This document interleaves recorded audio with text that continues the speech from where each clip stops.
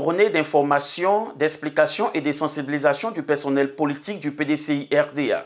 Kamagate Brahima, secrétaire exécutif en charge de la jeunesse, et Serebi Priva, secrétaire chargé des délégations, étaient au cœur de l'étape du Port-Boué le samedi 6 février 2021 au foyer des jeunes d'Adioufou. La cité balnéaire du Port-Boué recevait Kamagate Brahima, chef de délégation, commis par la direction du PDCRDA pour expliquer les enjeux des élections législatives du 6 mars 2021. Ils ont été accueillis par les militants, chefs traditionnels, guides religieux et les mouvements de jeunesse qui leur ont réservé un accueil chaleureux. L'envoyé du président Bétier a passé en revue les grandes décisions de la direction du parti. Il a démontré aux militants l'enjeu des élections législatives et pourquoi on doit y aller. Le président Bétier nous a envoyés sur le terrain de la même manière, nous sommes ici, c'est comme ça, les autres sont sur le district d'Abidjan. Il a estimé que quand on marche avec des gens, il faut respecter. Lui, Bédier, a dit on ne va pas à l'élection présidentielle.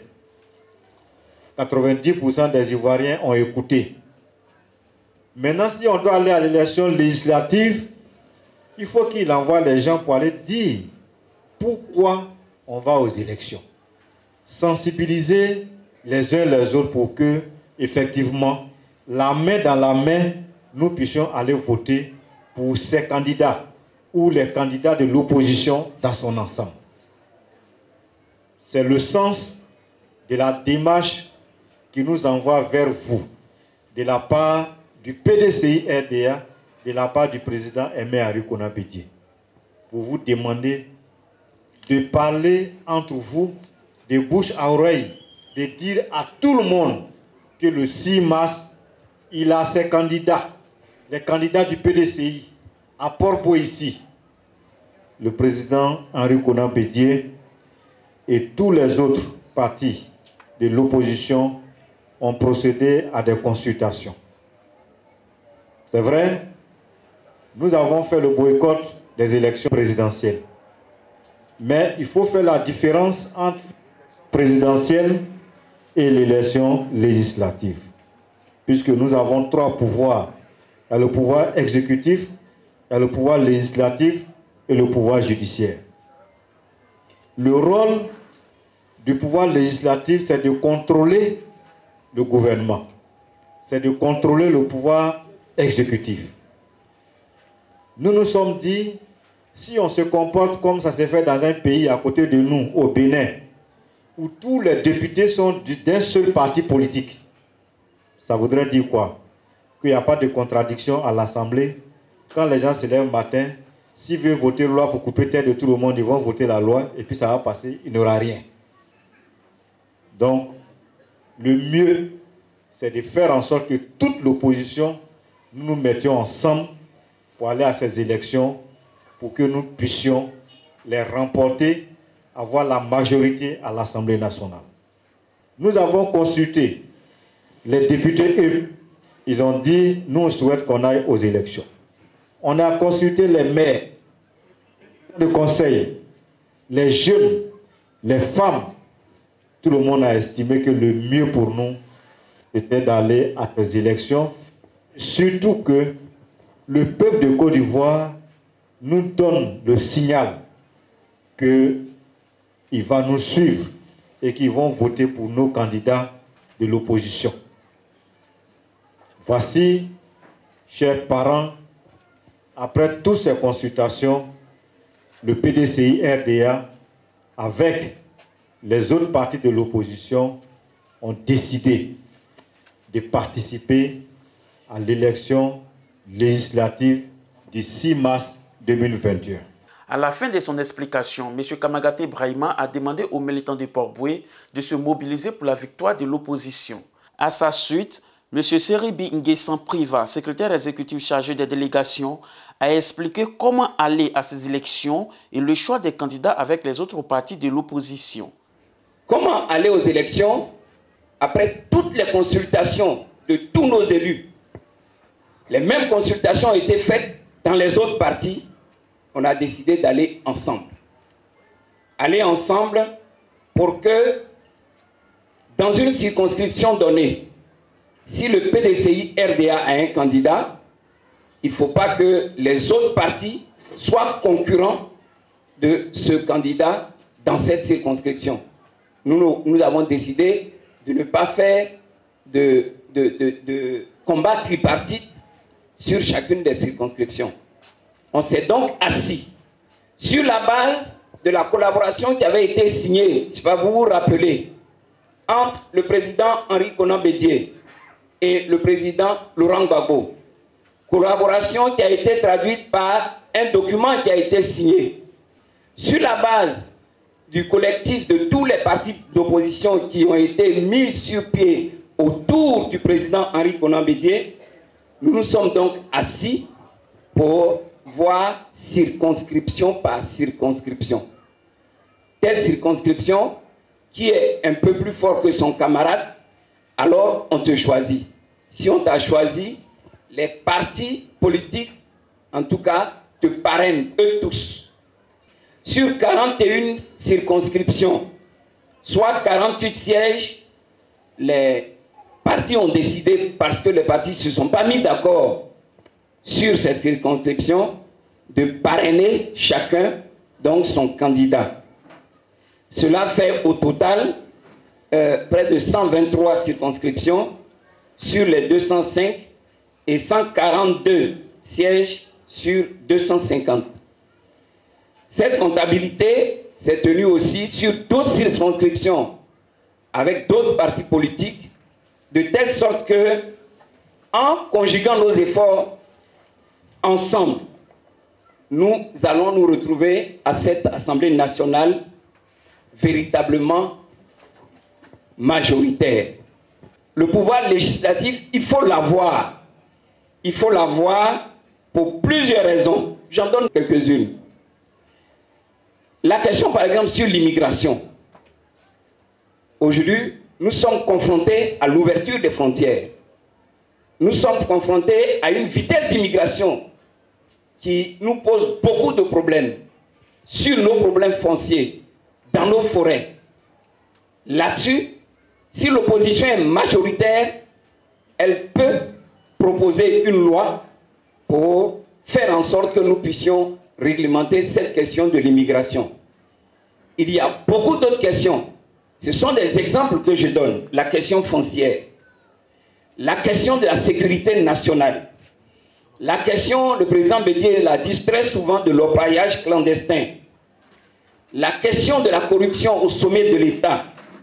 La question de la mauvaise gouvernance au sommet de l'État. Les questions de trafic de drogue. Si l'opposition aujourd'hui a la majorité au niveau de l'Assemblée nationale, c'est de freiner le pouvoir sur ces questions qui sont sensibles. Ces questions, si elles ne sont pas bien traitées, puisse brader la nationalité ivoirienne et la nation ivoirienne. Le moment le plus attendu par les militants était la présentation des candidats. Kamagate Brahima a présenté aux militants du Port-Boué leurs deux soldats. Il s'agit du docteur Emou Sylvestre et Adja Ale, deux poids lourds pour assurer la victoire de l'opposition à Port-Boué. Successivement, les deux candidats se sont adressés à leurs militants. Notre pays est organisé de la façon suivante. On a trois pouvoirs on a le pouvoir exécutif représenté par le président et le chef et le gouvernement, le pouvoir législatif, le Parlement, les députés. Aujourd'hui, on a deux chambres, on a un Sénat, et puis le pouvoir judiciaire. Le pouvoir législatif, là, son rôle, c'est effectivement de contrôler l'action du gouvernement. C'est effectivement, lui aussi, de proposer des lois. Quand à Port-Bou, ici, on a vu que il y a des choses qui ne sont pas bonnes, qu'on peut améliorer. On ne fera pas la guerre. On va proposer des lois. On va organiser, inciter les autres députés à nous soutenir pour que ces lois, ces propositions puissent passer. La première proposition qu'on va faire, vous savez quoi? Moi, je suis à Derewaf. Derewaf, c'est quoi le problème? Qui connaît le problème de Derewaf Le foncier, non? Il y a un décret qui interdit que vous et moi, vous et moi, vous et moi, on n'a pas de papier sur terrain. Ou bien, qui a papier sur terrain ici? Parce qu'il y a un décret qui a été pris par le chef de l'État. Notre première action, ça sera de proposer une loi pour que ce décret-là soit annulé. Le député, il connaît la réalité de ses populations. Et moi, je connais la réalité de notre population. Le maire connaît la réalité de nos populations. Et le maire est indigné de voir dans quel état se trouvent les populations de route de Bassam.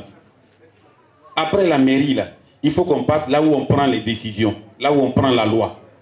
Et que nous puissions, dans un débat démocratique, proposer au gouvernement de dire, route de Bassam là, nous on propose que vous annuliez la loi qui fait que nos parents ne peuvent pas avoir des titres de propriété sur les terrains qu'ils ont et les quelques maisons qu'ils ont pu construire avec l'aide de Dieu. Notez cela. Après le 6, je crois que l'Assemblée va se réunir peut-être un mois plus tard. Un mois plus tard, là, vous portez vos jolis boubous, vos pagnes, vos habits, et puis on fait défiler pour aller déposer notre proposition de loi au Parlement de Côte d'Ivoire. Le président Henri Conan Bédier nous a envoyé une délégation. Sinon, il est prévu qu'on vienne chez vous pour vous dire officiellement que nous sommes candidats.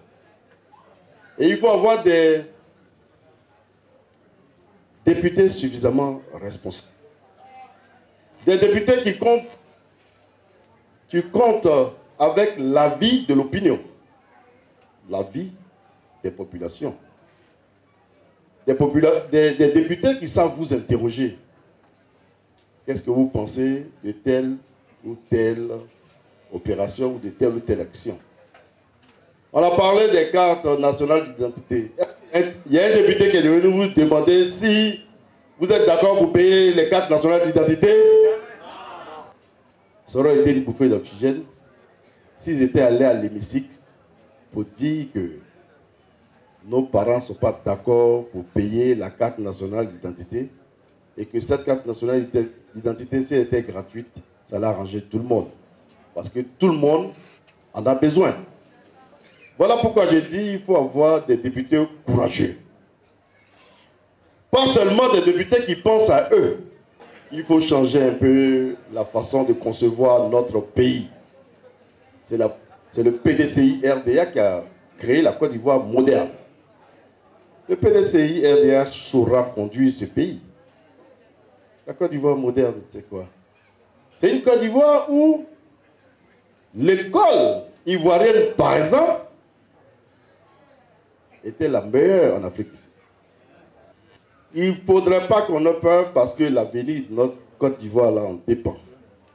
Si vous aimez votre pays, là, levez la main pour dire on aime notre pays.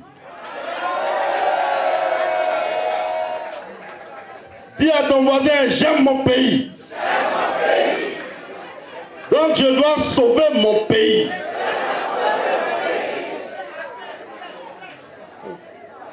Dieu là, c'est le peuple. Le peuple est d'accord. Problème. Port-Boué là. Est d'abord PDC.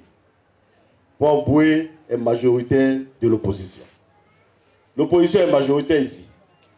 Ici à Port-Boué là, si tu as mis EDS de Laurent Gbagbo et puis PDCI ensemble, est-ce que quelqu'un peut encore?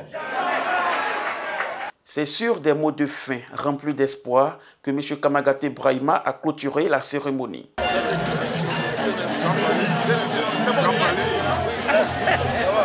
La direction du parti nous a envoyé une mission ici d'explication pour apporter le message qui explique un peu pourquoi le PDCI va à ces élections. C'est vrai que le PDCI n'a pas été aux élections présidentielles, mais le PDCI attend à ces jeunes législatives euh, prochaines, tout simplement parce qu'il faut avoir un pouvoir. Il y a le pouvoir présidentiel, comme il a dit, il y a trois pouvoirs. Il y a le pouvoir présidentiel, le pouvoir législatif et puis il y a le pouvoir judiciaire. Le pouvoir présidentiel euh, étant occupé par le pouvoir actuel, il est bon quand même qu'il y ait un contrepoids. Et c'est ce contrepoids-là qu'on recherche en allant aux élections législatives. Et nous espérons que le PDCI aura la majorité des sièges pour faire ce contrepoids.